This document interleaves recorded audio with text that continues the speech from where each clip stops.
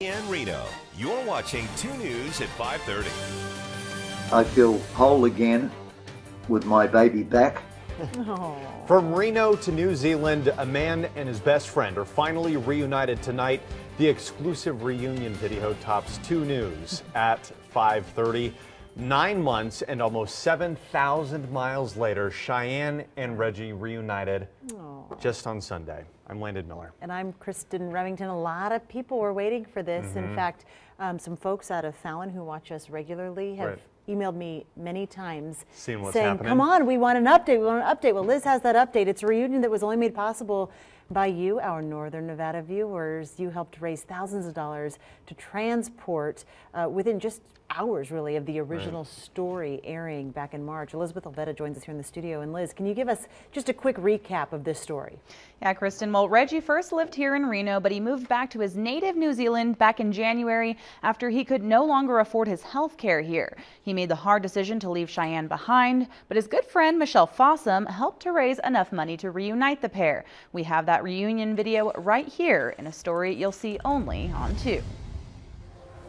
Hi, this is Reggie, and we have Cheyenne back in New Zealand. Reggie Boyd raised Cheyenne since she was a puppy. This year, he moved across the Pacific Ocean without her. Sunday was the first time he'd seen her in nine months.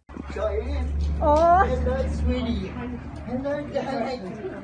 Hello. He was just on like a little kidney candy store, And by the looks of it, Cheyenne was just as excited. kicking her back legs are just going all over the place. She does not know what to do. I've never seen her so animated.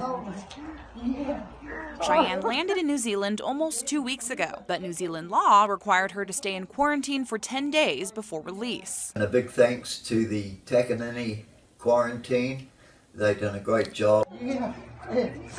Sunday, they finally loaded up for their seven hour drive home. He cried. He was walking her to the car. My daughter overheard him say, Cheyenne, you're home now. You're home, honey.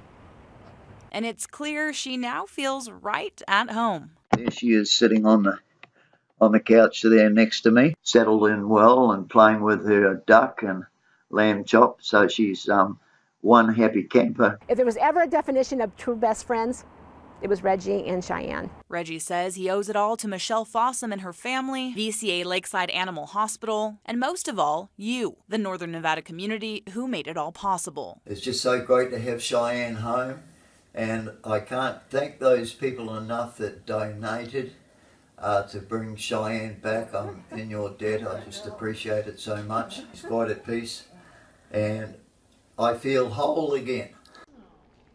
Now, Michelle did have just under $300 left from the $8,000 raised on the GoFundMe. She's donating that to the VCA Lakeside Animal Hospital to help less fortunate animals on behalf of Cheyenne and Reggie. Now, for the full reunion video, you can visit our KTVN News app. Covering the big story live in the studio, Elizabeth Olvera, 2 News.